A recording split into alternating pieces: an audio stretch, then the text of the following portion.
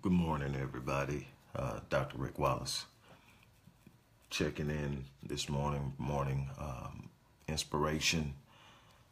Just want to stop by and drop a little something uh, that will hopefully provide you with some insight, encourage you, um, maybe energize you, give you a, little push in moving forward.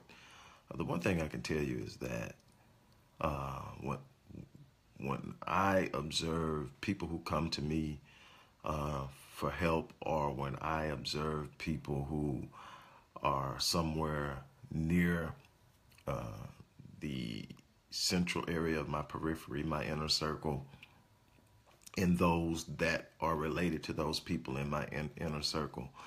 And I start to really examine and anatomize the causality um, associated with the failure to move forward or the inability or resistance to step out and act really actually go after life to actualize potential to stand up to move out and to do things that are exceptional extraordinary phenomenal all within the capacity of every individual on this planet when you find your right state when you find your right frame of mind when you begin to focus and apply yourself there's nothing that can be withheld from you. But what I find one of the central causes of this failure is the need of approval. Uh, people seeking the approbation of others, the validation of others, asking um, as if they're asking for permission to be great. Let me explain something to you. You don't need permission to be great. The demand for greatness is in your design.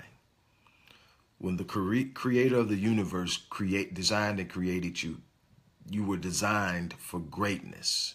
You were designed to have a massive impact. You were designed to produce phenomenal results. You were designed to be a representation of the Creator.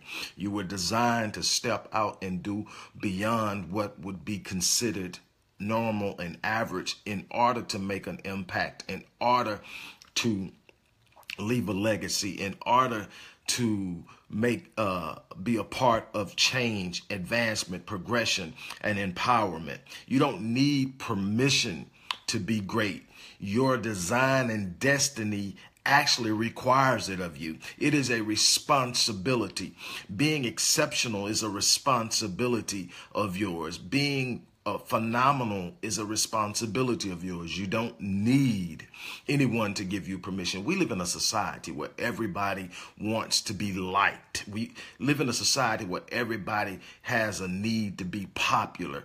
We live in a society where people would rather be liked than to advance, than to rise, than to be exceptional, than to be successful. It's more important to fit in for people than it is to rise up and be who they are.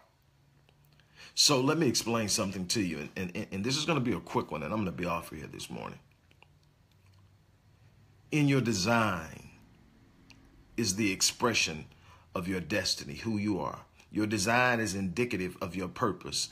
When you discover your purpose, as it is associated with your identity, you ignite a passion within that's within you. And a lot of us have quenched and suppressed that passion because we haven't been validated by those we seek validation from. We haven't been approved and given permission by those we seek approbation from. So we have decided to shrink back into what is normal, shrink back into what is comfortable, shrink back into what is considered acceptable and realistic. We have decided to stop dreaming. We have decided to stop standing and fighting and aspiring. And we just simply exist within the vacuum of exception, uh, not exception, of being accepted. There's no no reward in being accepted. There's no legacy in being accepted. You don't need permission to be phenomenal, to be great, to be exceptional, to be extraordinary. It's in your design. It's literally demanding that you be. great, phenomenal, and exceptional. Stop looking outside of yourself for validation. Stop looking outside of yourself for someone to tell you that it's okay to step out and go after your dreams and go after your aspirations and to live an exceptional and phenomenal life. You owe it to your creator, your designer. You owe it to your children. You owe it to your community. You owe it to every person in your periphery because they are looking at you and every every person when you stand up and decide that you're going to step out and be phenomenal when you decide that you're going to step out step up and be exceptional. You're literally by your own actions giving others permission to do the same thing. You're giving others the permission to stand up and be exceptional. Be the model. Be the inspiration. Stop waiting on people who are lost to give you the permission to be great. Great people don't go to average people and ask for permission to be great. They simply step out and become. I'm inviting you to become. There's something awesome in becoming. There's something powerful in becoming. There's something inspirational in becoming. There's something joyous in becoming. There's something that makes you feel fulfilled when you see and experience becoming the, the progress towards your destiny.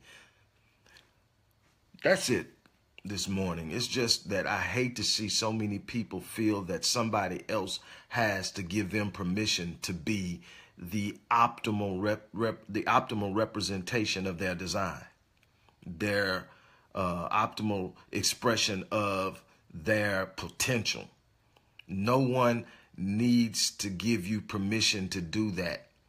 It is a requirement of your design to be great. That's it. As I always say, I'm gonna die. I'm going to die on E. I'm going to give this world everything. Um, the first time I ever heard this expression was by Myles Munroe, but Les Alexander, I mean uh, Les uh, Brown uses it a lot.